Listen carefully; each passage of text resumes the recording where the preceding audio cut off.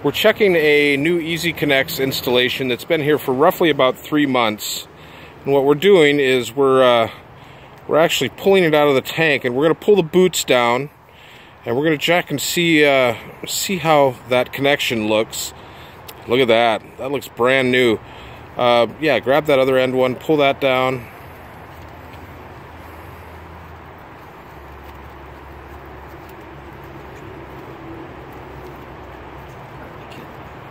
There you go. It's all looking really good. Now these have been installed since June, and it's actually uh, middle of September. I believe it's what September 21st today. Yep. So roughly three months. All the connections look fantastic. Um, Vince, could you uh, uh, uh, unconnect one of those, and we'll just take a, a little look at that and see how that looks. Look at that. Looks like the day it was installed. That's beautiful. All right. Um, go ahead and connect that back up. All the way? Uh, no, take that middle boot off too, and we'll uh, we'll put a little dielectric grease in there just to make it easier to pull off next time. Perfect. If you want to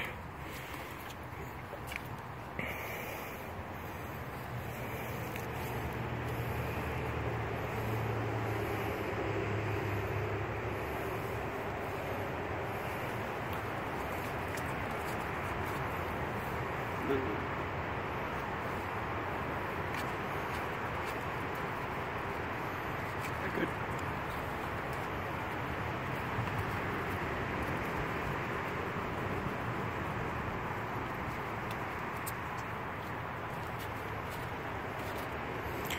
Gotta put some grease in all of those vents.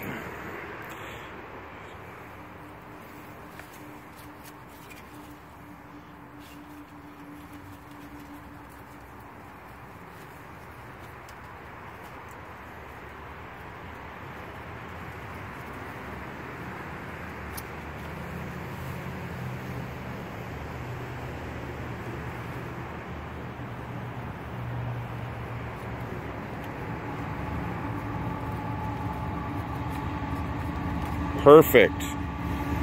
And we just set her back down there and uh, we're good to go. It's easy as that.